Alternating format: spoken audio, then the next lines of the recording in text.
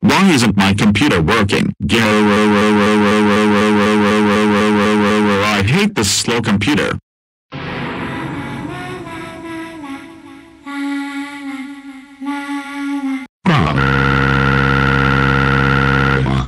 This fucking computer. God but the DRA screen of fucking shitty ass death.